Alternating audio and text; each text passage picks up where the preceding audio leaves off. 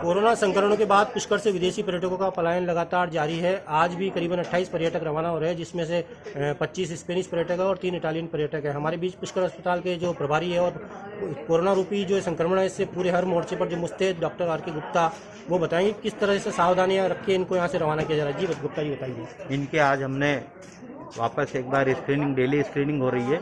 आज इनको स्क्रीनिंग करके हम लोग इनको यहाँ से रवाना कर रहे हैं।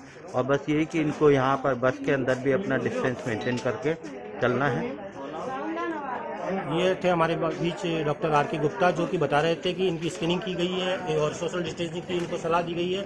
और आगे भी इनको कहा गया है कि तमाम सावधानियाँ बरतें। पुष्कर से दिलीप नागरिक शाह सीताराम पाराशर स्वामी। कोरोना वायरस संक्रमण के बाद देश में चल रहे लॉकडाउन के चलते पुष्कर से विदेशी पर्यटकों का लगातार पलायन जारी है। शुक्रवार को भी दूतावास के बुलावे पर 25 स्पेन और तीन के इटली के नागरिक पुष्कर से रवाना हुए।